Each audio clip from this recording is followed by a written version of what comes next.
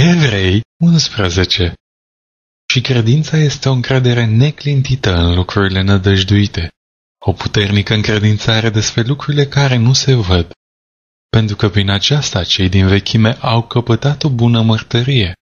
Prin credință percepem că lumea a fost făcută prin cuvântul lui Dumnezeu, așa că tot ce se vede n-a fost făcut din lucruri care se văd.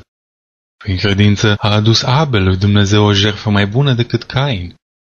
Prin ea a căpătat el mărturia că este neprihănit, căci Dumnezeu a primit darurile lui și prin ea vorbește el încă, măcar că este mort.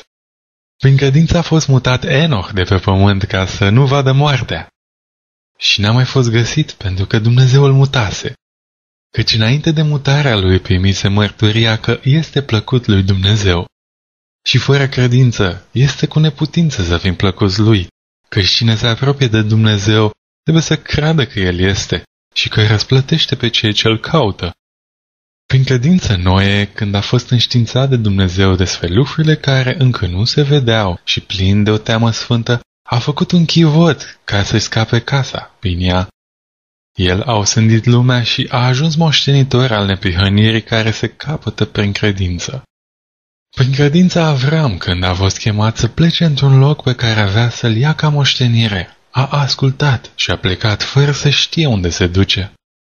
Prin credință a venit și s-a așezat el în țara făgăduinței, ca într-o țară care nu era a lui, și a locuit în corturi ca Isaac și Iacov, care erau împreună moștenitori cu el a aceeași făgăduințe. Căci el aștepta cetatea care are temelitari, al cărei mește și ziditor este Dumnezeu.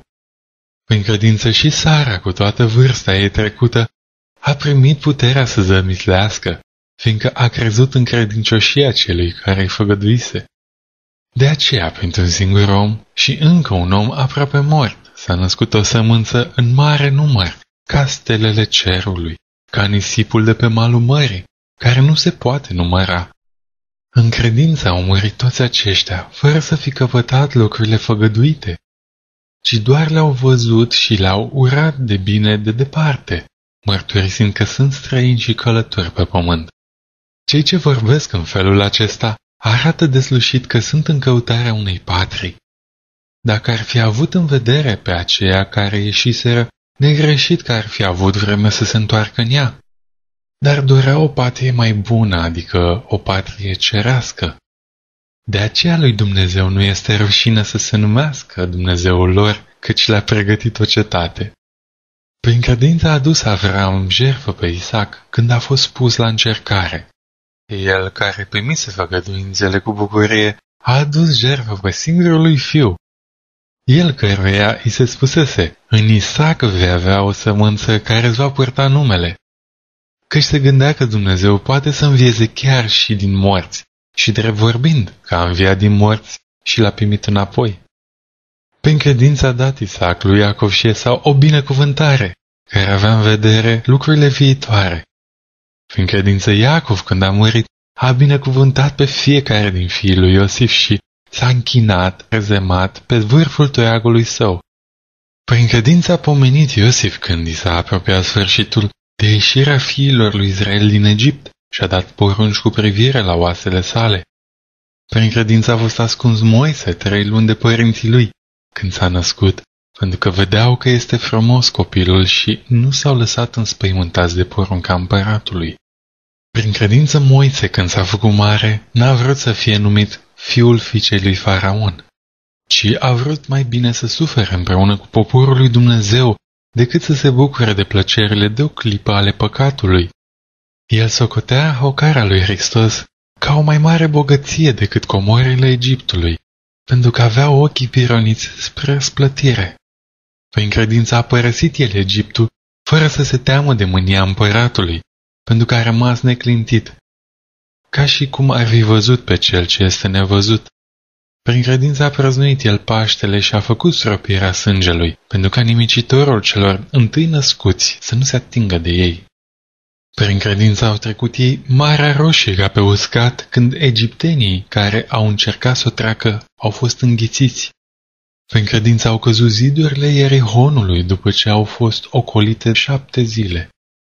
Prin credință n-a pierit curva Rahav împreună cu cei răzvrătiți, pentru că găzduise iscoadele cu bunăvoință. Și ce voi mai zice? Căci nu mi-ar ajunge vremea dacă aș vrea să vorbesc de Gedeon, de Barak, de Samson, de Ieftaie, de David, de Samuel și de proroci. Prin credință au cucerit ei împărății, au făcut dreptate, au căpătat făgăduințe, au stupat gura leilor, au stins puterea focului, au scăpat de ascuțișul sabiei, s-au vindecat de boli, au fost viteji în războaie, au pus pe fugă știrile vrășmașe. Femeile și-au primit înapoi pe morților înviați, unii ca să dobândească o înviere mai bună. N-au vrut să primească izbăvirea care li se dădea și au fost chinuiți. Alții au suferit bagiocuri, bătăi, lanțuri și închisoare. Au fost uciși cu pietre, tăiați în două cu fierăstrăul, chinuiți. Au murit uciși de sabie. Au prebegit îmbrăcați cu cojoace și piei de capre, lipsiți de toate, prigoniți, munciți. Ei, de care lumea nu era vrednică, au rătăcit prin pustie, prin munți, prin peșteri și prin crăpăturile pământului. Toți aceștia, măcar că au fost lăudați pentru credința lor, totuși n-au primit ce le fusese făgăduit, pentru că Dumnezeu avea în vedere ceva mai bun pentru noi, ca să n-ajungă ei la desăvârșire fără noi.